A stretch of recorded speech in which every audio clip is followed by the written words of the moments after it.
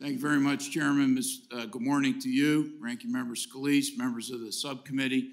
I'm very pleased to be here today to talk about our first uh, comprehensive assessment of the set of legislation that the Congress swiftly passed and the administration's been working hard to implement. We determined that the first two months after the legislation was passed, uh, there was $1.2 trillion of assistance provided in the form of almost $700 billion in direct spending and over $500 billion in loan guarantees. Now, this assistance was accompanied by a lot of dedication and agility by various segments of our society. We had heroic efforts made by our healthcare workers across the country. There were significant efforts put forward by the federal workforce to implement this legislation. State and local governments and others made valuable contributions and continue to do so. Now, with regard to the federal agencies, uh, they gave a high priority uh, given the urgency of the healthcare needs and the severe economic downturn to move swiftly to allocate the funds, as we point out in our report. And there were trade offs that were made. And our report's designed to help them make some mid course corrections with regard to those trade offs. But as a consequence, we've made good progress in distributing the money, but only limited progress in ensuring and meeting the transparency and accountability goals. Now, our report provides a very comprehensive assessment across the entire federal government. Uh, and, but uh, this morning, my opening comments, I'll just focus on those areas that I think you know, our initial recommendations for improvement focus on. First is the PPP program. I, I agree uh, that they made swift allocations, standing up a nationwide program and distributing the money. Uh, but uh, there were some issues that I think uh, need to be attended to very quickly. And so our recommendation, there was a lot of confusion with the program. Uh, it was, uh, you know, implemented uh, with a stream of uh, frequently asked questions and guidance. And so there's some confusion that still remains with the program. But you know, all being said, they need an oversight plan to ensure that the funds are safeguarded. There's already some indications of fraud in the program.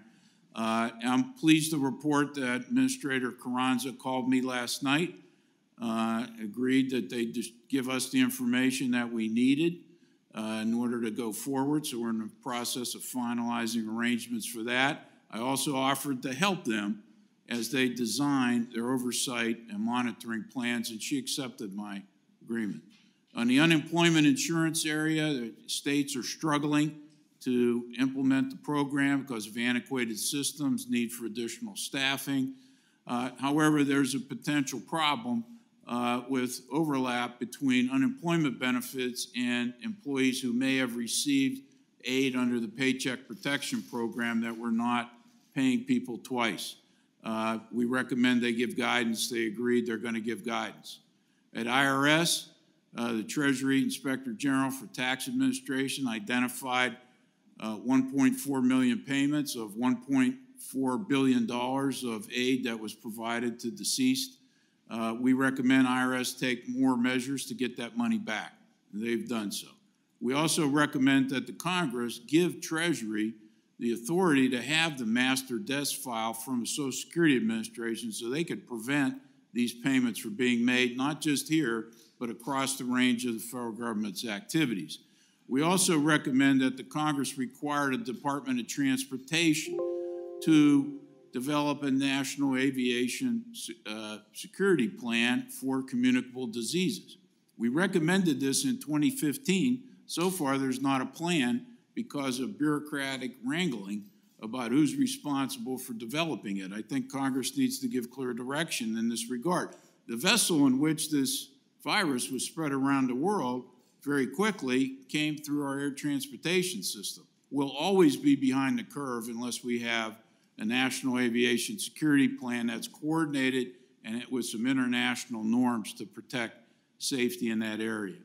Uh, so, Mr. Chairman, uh, as I conclude my statement, I want to assure this committee that we're going to continue to focus on this, to meet our statutory responsibilities, to report every two months. We also have about 40 audits underway now, dozens of others planned for specific areas. So we're pleased that you took time to focus on our report, and we look forward to working with the Congress and the administration to make sure that these programs are eff- effectively and efficiently uh, implemented for the benefit of the American people and our economy. Thank you very much.